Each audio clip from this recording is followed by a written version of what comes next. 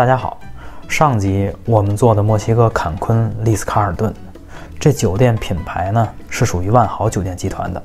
考虑到之后的很多酒店应该都会大概率牵涉万豪酒店集团，所以这期呢，我向凯悦酒店集团那期说说这个万豪酒店集团。万豪国际酒店集团公司总部位于美国马里兰州 Bethesda，中文呢贝塞斯达。这么个小地方吧，其实还是下属在马里兰州蒙哥马利县，并且属于一个没有成建制的自然聚集区。可是你别小看这地方，美国国家卫生研究院也算是最近美国抗击肺炎的指挥总部之一了。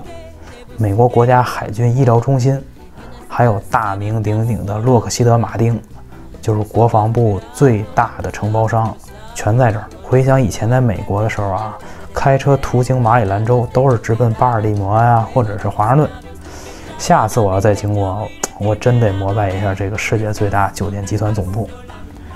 万豪跟我上上上上上期提到的凯悦集团一样，有个相同的地方，就是也有个绰号。因为这个 Marriott 这个发音啊，跟马里奥很像，所以呢，经常住万豪酒店的小伙伴们呢，也喜欢昵称叫马里奥酒店。之后提到万豪，我有可能会以马里奥的习惯代称。截止二零二零年四月发稿，全球范围内，万豪集团旗下三十个酒店品牌，员工可想而知数以万计。这个庞大的万豪帝国啊，从一九二七年由 J. Willard Marriott 和 Alice Marriott 这个夫妇俩白手起家创立的。最开始呢。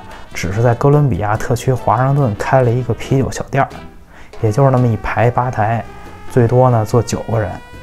但是卖酒呢，你得有下酒菜儿啊，所以呢又推出墨西哥风味的那种热辣菜品，把店名改了个后世看起来通俗易懂的名字，The Hot Shoppe。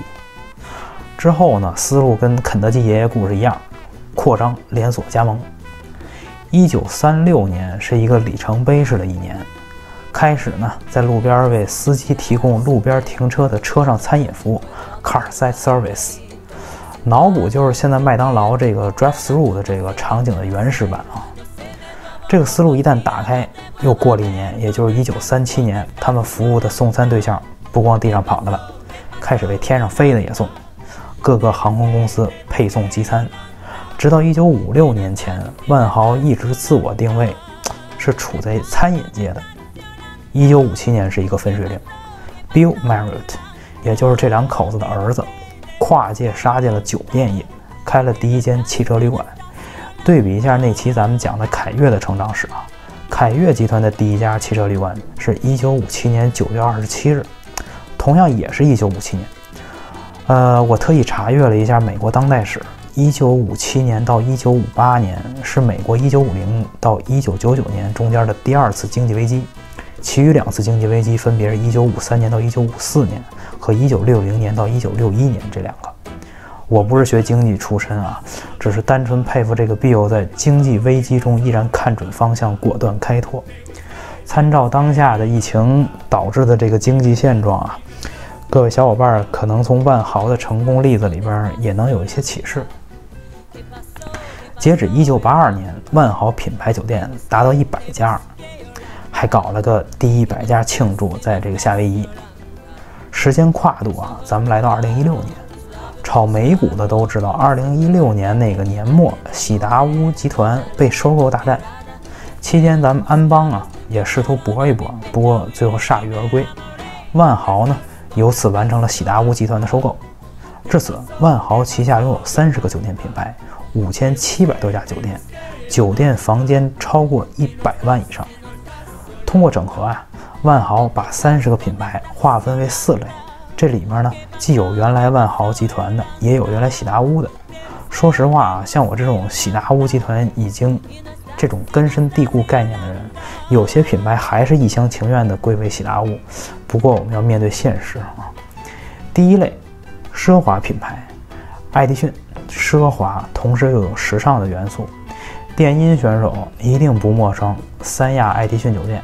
三亚跨年电音节，这家爱迪逊酒店都得提前三个月做预订。丽思卡尔顿品牌，上期的坎昆，万豪旗下最奢华的品牌酒店，没有之一。也有个俗称丽子，它这个小狮子公仔带小朋友入住的话，可以跟酒店管家免费要。当然，如果你童心未泯呢，这个也可以有。当然，对这个品牌的总结啊，一言以蔽之：丽兹只认钱。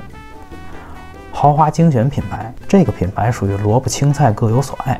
按郭德纲那段子，这不同的豪华精选酒店之间的差距啊，有六扔那么远。你你比如说上海衡山路十二号这个豪华精选酒店啊，截止发售二零二零年的四月，已经宣布摘牌了。豪华精选酒店呢，大部分是选择有历史沉淀的酒店，但是呢，有的时候一不小心历史感没找着，剩的全是沉淀渣子。瑞吉品牌这个品牌以前是喜达屋集团的，当年是为了跟丽思卡尔顿打擂台创立的。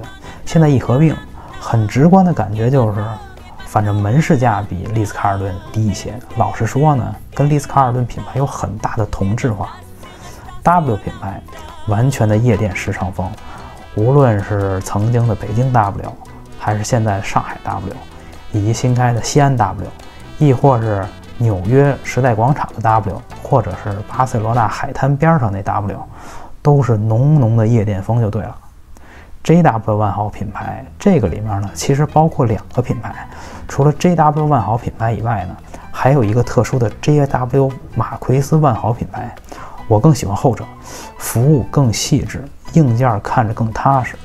比如说华盛顿的马奎斯万豪，纽约时代广场也有一家马奎斯万豪。